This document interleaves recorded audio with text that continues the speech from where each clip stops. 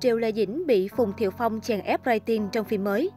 Vừa mới đây, rating từng tập của bộ phim Lý tưởng chiếu rọi Trung Quốc có sự tham gia của chồng cũ Triệu Lệ Dĩnh, Phùng Thiệu Phong đã được công bố. Nhìn vào bảng xếp hạng, dân mạng không khỏi so sánh khi các tập phim có sự tham gia của một đôi vừa mới ly hôn, Triệu Lê Dĩnh và Phùng Thiệu Phong.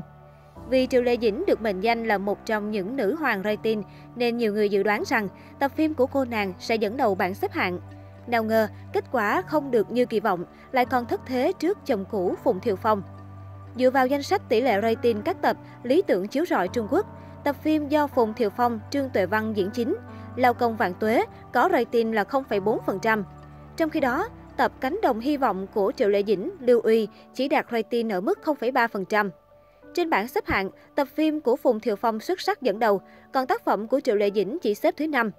Từ lúc công bố tình cảm cho đến khi kết hôn và nay đã ly hôn, sự nghiệp của Phùng Thiệu Phong chưa bao giờ tương xứng với Triệu Lệ Dĩnh. Họ bị dân mạng ví von là Dương Mịch Lưu Khải Uy phiên bản 2 khi cả hai cặp đôi đều có đặc điểm âm thịnh dương suy, người phụ nữ chân yếu tay mềm lại hoàn toàn lấn át đàn ông trụ cột gia đình. Tuy nhiên, việc công bố rating lần này khiến nhiều người không khỏi sửng sốt. Hóa ra Phùng Thiệu Phong cũng khá có khả năng gánh phim. Chính vì vậy, vấn đề này đã khiến cộng đồng mạng bàn tán xôn xao. Một số ý kiến khác lại cho rằng chuyện rating này phụ thuộc vào nhiều yếu tố. Lần này Phùng Thiệu Phong thắng thế trước vợ cũ cũng chẳng chứng minh được điều gì. Sau khi đường ai nấy đi, Phùng Thiệu Phong và Triệu Lệ Dĩnh đều chuyên tâm cho sự nghiệp của mình, lao vào đóng phim. Bản thân Triệu Lệ Dĩnh nhận được sự chú ý và quan tâm nhiều hơn khi cô không chỉ đóng phim mà còn tham gia nhiều công việc khác, từ quay quảng cáo, chụp bìa tạp chí. Dường như tên tuổi của cô tăng độ hot lên nhiều lần. Đó là lý do bảng xếp hạng rating lần này khiến nhiều người bất ngờ. Theo Sina, điều này cho thấy Phùng Thiệu Phong cũng khá có khả năng gánh rating phim. Trước đó, anh luôn bị cho là đã hết thời, các bộ phim không còn nhận được sự quan tâm, nên nam diễn viên dùng sức nhiều hơn cho hoạt động kinh doanh thay vì phim ảnh. Thời gian qua, mối quan hệ giữa cặp đôi đình đám này vẫn chưa hết được đưa ra bàn tán. Nhiều tin đồn xoay quanh mối quan hệ của cả hai sau khi tan vỡ.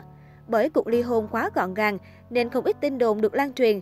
Từ việc Phùng Thiệu Phong muốn níu kéo và quay lại với Triệu Lệ Dĩnh, tới việc nam diễn viên chấp nhận đi xem mặt cô gái khác theo lời yêu cầu của bà mẹ. Tuy nhiên, cả hai đều chưa lên tiếng về các tin đồn. Cho đến hiện tại, Triệu Lệ Dĩnh vẫn không xóa bỏ bất cứ hình ảnh nào của chồng trên trang cá nhân của mình.